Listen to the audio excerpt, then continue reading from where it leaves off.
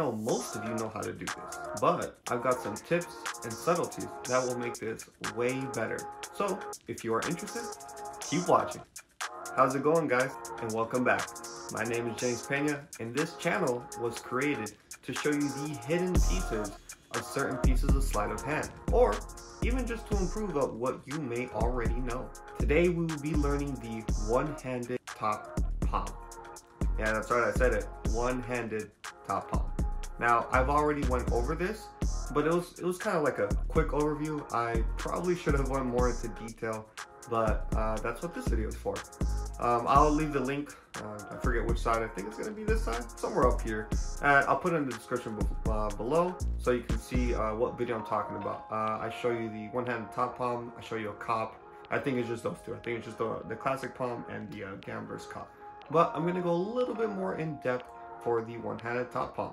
Now, it's really important for you to understand the palm and to learn how to do the palm because it it's like the foundation of card magic, right? I don't know if you've ever heard it, uh, but it's pretty much the the three basics for card magic is control, a double lift, and a palm. If you can learn those three, you can create pretty much miracle. Literally any other sleight is almost obsolete or it's just you trying to, I don't know, improve the dexterity in your hands. Uh, but mainly, uh, those are the three principles that you want to learn for card magic. Those are the three basic uh, sleights that you want to perfect. When learning the palming correctly, you can literally do some impossible things. You can, um, obviously the basic card to pocket, even though it's so basic among all magicians, but if you kind of view that from the spectator's point of view, it's impossible. It's like, how, when the hell did it get to that pocket, you know? Uh, but it's not just card to pocket. You could do card to box, right? A little different variation of that. But not only that, but you can literally do a production with a palm. You could probably do some cool vanishes. And sometimes you don't even have to do it as an effect. You could use it as a tool to help you get to a certain effect that you are trying to create. So a palm is really, really, really important for you to learn. So I, I think this is why I also wanted to make another video. But I also did have a viewer that commented on uh, I don't know, he wanted me to make a video on being more in depth with it, so it's for him, this for you man, and for any other viewers that may have been, you know, a little stuck on my last video. Before we get into today's video, uh, I just want to show you that we, how today's video is going to go is we're going to be discussing the mechanics. After the mechanics, I want to go over the angle sensitivity And lastly, I want to discuss tips and subtleties and certain uses, or my uses for the one-handed top palm, which looks something a little bit like this. So all these are, that, that is basically an overview of today's video. So enough of me talking, let's get straight to the tutorial. So obviously for uh, today's video, we are going to need a deck of cards. Uh, here I have the SWE cards, the SW Erdnase cards. I believe they're printed by uh, Daniel Madison, but this is what they look like, kind of all around. Just a just a quick deck review. Now I'm not gonna fully go into this, but uh, this is what the cards look like. Uh, they're a little uh, off-white because they're uh, I've, I've, used them before. Um, oh, don't need that. And the Jokers, and the faces are pretty standard. These are in new deck order, so let me shuffle these real quick and then uh, we'll start the new video. Done shuffling. All right, they're uh, now in a, they're kind of just in a messy order. So the first thing I, I want to go over is how to hold the deck when you are doing the one-handed top palm, all right? So how you want to hold it, it just looks like this. Don't, uh, if you're watching this and you have a deck with you, don't start mimicking my moves, just pay attention to the video and then I'll tell you when to kind of follow along with me if that makes sense. So for right now, this is kind of what it looks like. This is the, the grip for it. Now I know this looks weird to hold a deck, but usually you're holding it like this. And I'll get more into it on when you should change this finger out for when you're about to do the pop. But if you're just holding the deck kind of regularly, uh, you, you want to hold it like this. This is more natural. But when you want to do the palm, it's this. And you'll see why. But Again, that's what it looks like, just so you have an overview. Okay, so this is how you hold the deck. Now what makes uh what makes the card go into palm? Alright, so again, just watch, don't follow just yet. You want to because the, the whole principle of a palm, right, is this, correct? That's what it looks like. Pinky here, and then over here with the base of thumb. I believe a lot of people know that. If you didn't know that, well, you learned something new today. But that's what it looks like, right? Now, be aware of where exactly it is on the pinky. Where on the pinky and exactly where in the thumb. Thumb's not as important. The pinky, however, should be precise. What I want you to do, now I want you to follow along, is place that pinky where you felt your palm, right? Place it here, all right? Where you felt that card when you were normally palming it, actually place it here, if that makes sense. All right, that's what I want you to do. Place it there. All right? Now again, you're following along. Now you're going to just rest your fingers here. Right? And then your thumb is, it's not on top, right? Kind of like, kind of like that. Kind of perpendicular, I think that's the, uh, the word for it. Kind of perpendicular with the, with the deck. All right, so your pinky here and your thumb here. You got it? Hopefully you do. Now that you have the, the grip set up, now again, now this part, I want you to just watch. Don't follow along. Now, now you want the a certain pressure with the pinky finger. Oh, before I move on, if you don't have the right placement, the card will go somewhere else. So let's say if your card is a little bit like I'm right-handed, right? If your pinky is a little bit to the left of that, if you watch, right, you see how the card sticks out? Right, this is a little exaggerated, right? And this is where a lot of people had a problem. And this is also why I created the channel for my viewer that had that question. This is usually what happens, right? This is usually what happens. So you want to make sure it's touching, right? And then, again, now, okay, now I'm back to where I uh, originally started. And now I just want you to watch, just watch. So when you place a certain pressure, that pinky puts it straight into palm. All right. Now that you've seen it, now I want you to follow along. So go back to that grip. I'll give you a second. Once you're in that grip, what I want you to do is apply a certain pressure with the pinky. If you if you go too much, right?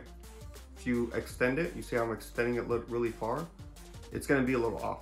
Now you see it's not off to the side as it was exaggerated. But you see how it's kind of off with the palm? Like a palm is normally like this, right? But if you extend too much, it can come off to this side, right? And that's not what you want. You want it to be as much as in your hand as possible. You're getting your card, it's getting kind of warped. It's also a little hot in here. So again, you have replacement. Now follow along. Push, right? And tap. Um, right now I got two cards, but in a bit I'm going to explain why that happens, right? But for now, ignore it. I just messed up. So, just put pressure and you should be able to grab that card, okay? Just focus on the pressure. If you miss it, that's fine. Just focus on pressure. But now we need to focus on the thumb.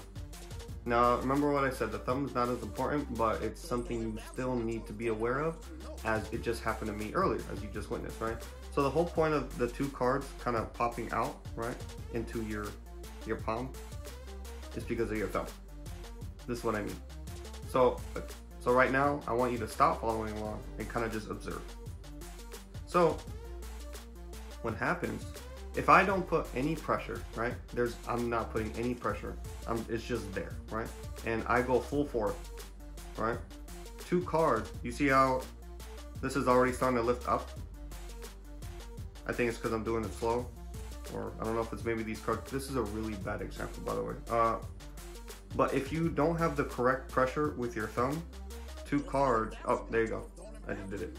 If you don't have a correct pressure with your thumb, two cards are going to pop off into your hand and you don't want that. How do you fix it? So it never happens, right? So you've got your placement with the pinky. Placement with the four fingers, and now your thumb. Your thumb, again, is just perpendicular to the deck.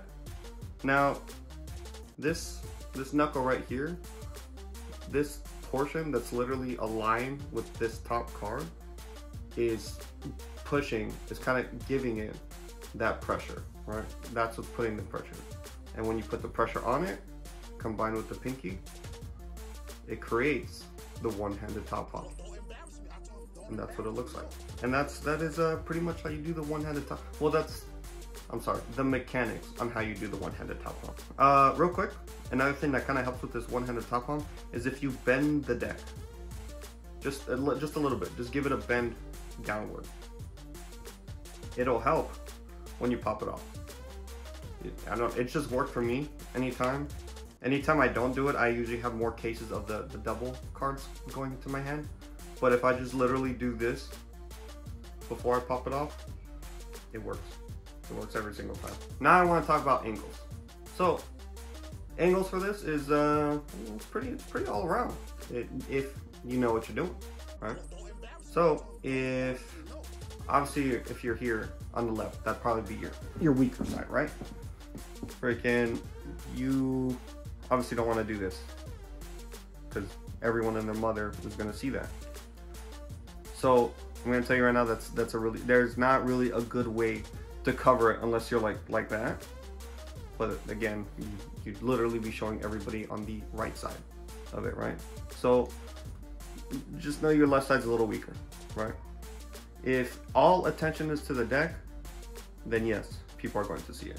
Now, if I hold it forward like this, right, obviously you can see that. So maybe tilt your wrist downward, right? And that's maybe what you, you probably want to do. So you're here, and maybe, and you can see less that way. Now, on your right side, you you probably you probably have a little bit more cover, right? Because I just did it, and it, it's actually pretty natural. A lot of people on the right hand, right side probably will not see that. Now I, I did say earlier that this is a pretty, it's almost angle proof. If you do it right, if you remember me saying that. So now moving on to my tips and subtleties. So one thing you really want to do is misdirect. So let's say you're doing a card to pocket, right? I have the four diamonds. I'm gonna just do this quick, very crudely. Let's say I come here, I have it, it's gone. Right, I actually come here, not here, but it's here, right? I'm not gonna stand up just because I'm just teaching you. I, I just I just want you to know what's going on. But anyway, but you see how when you focus attention somewhere else, you could you're most likely able to get away with it, right? No matter what angle. So remember how I said the left angle is probably really bad, but if you were to do that same little routine right there, and you came here, right, and you dropped your hand and actually went in your pocket, and let's say you were actually digging, if you were to do this, no one would be the wiser. And you'd be able to conceal the palm pretty easily. One little tip that you can uh, do with the uh, one-handed top palm is not just as a card to pocket, right? You could actually do this as a color change. And uh, this is a little bonus tip if you stayed watching here this long, which uh, I hope you did. Uh, but if you didn't, I guess uh, every, I guess you're gonna miss this part. Um, so color change, right? If you get two cards, you get a double lift, and just execute the one-handed top palm, right? You can you can shake it, and it will change and you can change it back if you want. You can act like go on the the motion as if you're giving them. like, oh look, is this your card? Oh no, it's not your card. Here, have the deck. And now you're concealing this card and giving them this. Another another way you could do this, it's a it's a subtlety for when you're actually palming the card. Let's say you don't want to go to your pocket. How else can you misdirect? This is kind of back to the uh, misdirection section. Here's the thing. So let's say to a space and you want to palm it off and not for a card to pocket. What I do is I kind of, like if I have a watch, I'll like readjust my watch or sometimes literally I just do this freaking I'll cover it and kind of like act like my wrist is hurting and then I'll give it to him and then successfully, successfully palm me off the card. I don't know, like that motion, like when as I'm teaching it to you, you're probably looking at me and you're like, bro, that doesn't work. That's that's trash, right? But if you just pull it off naturally, literally just me doing this, right, is literally enough cover for me to do the actual palming motion. Uh, don't understand why that works. I, I, I don't know. For some, just one day I was just like, oh, what if I just did this? And then while my hand was over, I palmed the car. And literally ever since that day, uh, that's actually a motion I use to kind of cover the action of palming off the card. Now that I've showed you all my uh, tips and subtleties, let's move on to the outro.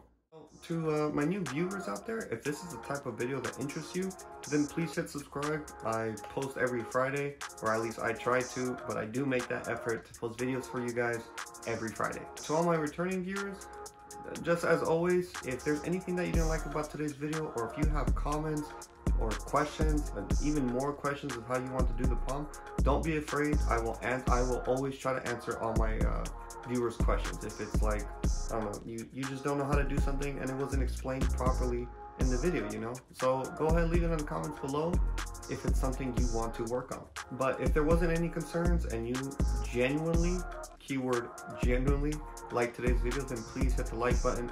Please hit subscribe. It helps me out, helps you out, helps this channel grow, right? And that's what we want.